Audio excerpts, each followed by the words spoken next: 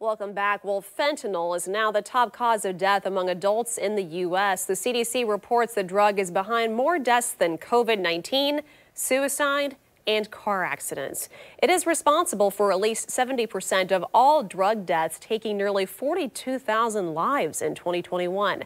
But now researchers are developing a so called fentanyl vaccine. Essentially, it would block the opioid from entering the brain and eliminating the high that comes along with it. Susan Pittman with Drug Free Duval is joining us this morning live via Zoom. Thank you so much for being here to talk about this very important issue. Well, thank you to Channel 4 and to, to you, Ashley, for being willing to talk about it. Absolutely. Let's get right to it. Can you walk us through some of the trends and obstacles that you all are seeing right now here locally? Yes, absolutely. The first is the real rise in the 14 to 18 year old age cohort in terms of drug overdose death. And it went up 94% in 2020 and another 20% in 2021. So um, that has predominantly been with um, kids not seeking fentanyl. They are seeking um, like a, a offline um, counterfeit Xanax or a, a, Percocet or something like that, and it's laced with fentanyl. So kids don't even know they're using fentanyl. Another trend that we see fentanyl is being added to so many street drugs like cocaine.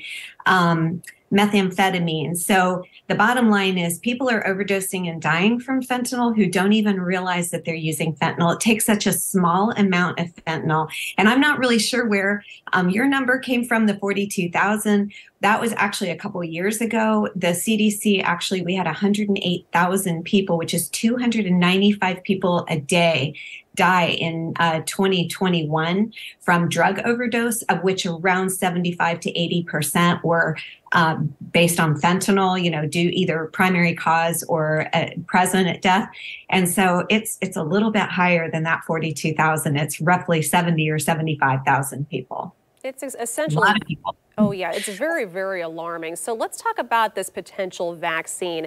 First off, what went through your mind when you heard about this, and what would this potentially mean for Northeast Florida?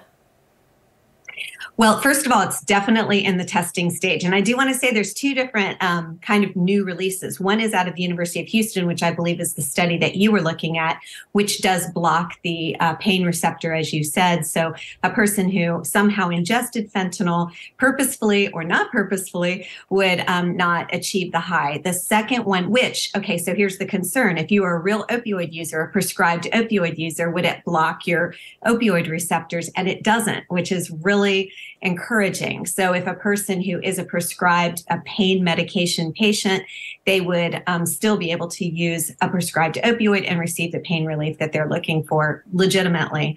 Um, the the second action that is being looked at. Actually, we have a University of Florida researcher working on it. It's in conjunction with University of Florida, Washington University, and the University of Southern California. Sorry, I'm looking down at the study right now. And it was just published in Nature magazine, but it's Jay McLaughlin, who is our UF um, researcher. And I'm sure if we could get him involved in this, it would be really great. Um, but it does a different action. It actually just keeps the fentanyl from creating the potential deadly um, action in your system. So there are two different actions that are being looked at. And there's actually, we have a, a call on Monday with another group that is looking at non opioid pain medications. There are so many exciting things on the forefront for people to um, begin to get the pain relief they need if it's legitimate and yet not have the risk of ingesting fentanyl. So the difference this could make, it could save lives right here in Jacksonville. All right. Thank you so much. We really appreciate your time and have a great one. We appreciate it again. Thank you so much. Take care.